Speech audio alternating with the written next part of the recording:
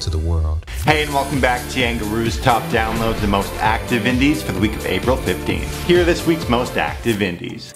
At number 10, it's Aaron Starr with One of a Kind. Andrew Waines at number 9 with Till the Music Stops. At number 8, it's Nav featuring The Weeknd with Price on My Head. Operators at number 7 with Faithless. At number 6, it's the Lumineers with Gloria. Five Finger Death Punch featuring Kenny Wayne Shepherd, Brantley Gilbert, and Brian May at number 5 with Blue on Black.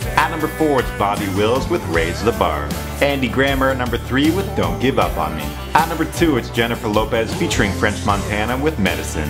And the number 1 most active indie of the week is Emerson Drive with Country People. This summer he'll be performing at the Centerfield Music Festival and the Penticton Peach Fest.